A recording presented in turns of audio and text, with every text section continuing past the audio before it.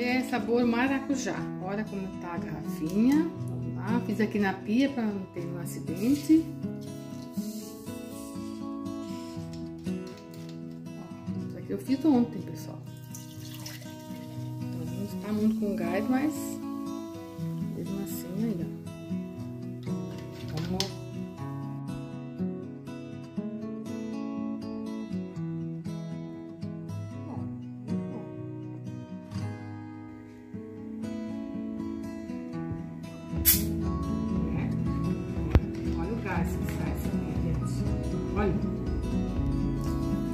Tá cheiroso, hein?